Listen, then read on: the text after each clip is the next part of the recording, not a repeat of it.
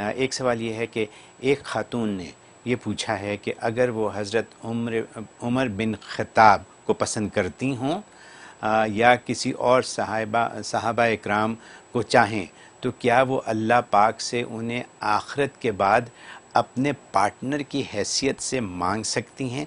क्या ये गुना तस्वर होगा? जी। बकिया वीडियो देखने से पहले वीडियो को लाइक करें, राहम टीवी चैनल को सब्सक्राइब करें और बेल आइकन पर क्लिक करें। शुक्रिया। बहुत अजीब सवाल किया बता टेक्निकल आखिर कोई बात नहीं। असल में जो जबता और उसूल ये है कि जो खातून जिस शौहर की जोजियत के अंदर इंतकाल करती है, आखिरत के अंदर उसी शौहर को मिलेगी। उसी शौहर को मिलेगी और आखिर में उसी के साथ उसका निकाह होगा। लेकिन अगर एक औरत ने दुनिया में दो शादियाँ की हैं, एक पहला शौहर था, वो फौत हो गया मसलन, फिर दूसरा कर लिया तो फिर जो है वो उसके ज़िंदगी गुजर गई, है? या वो भी फौत हो गया। तो दोनों सूरतों में आखिर में इस औरत को एक रिवायत यह है कि उसको जब वो जो करंट उसका जो, की जॉजियत में जो थी, वो करंट शौर आखिर में उसको मिलेगा। और एक कौल ये है कि दोनों में इख्तियार दिया जाएगा कि पहले के साथ आप जाना चाहती हैं या दूसरे के साथ।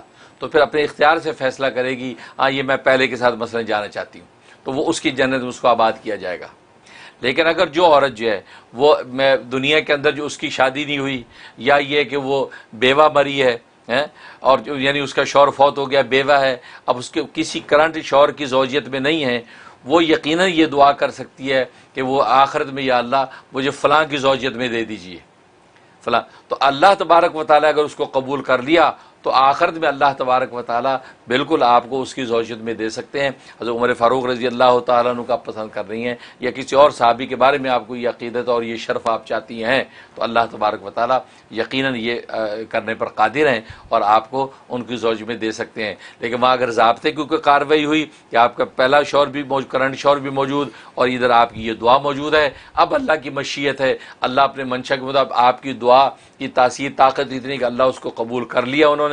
तो फिर आप पहले शौर को अल्लाह अपनी नियमतों से राज़ी करेंगे और फिर आपको जो है वो जो, मतलूबा मुतल जिसके हक में आपने दुआ की उसकी जन्नत में आपको आबाद करेंगे। बिल्कुल अल्लाह तबारक वाली कुदरत में और आप बिल्कुल ऐसी दुआ कर सकते हैं इसमें कोई मजाका नहीं है। बहुत खूब।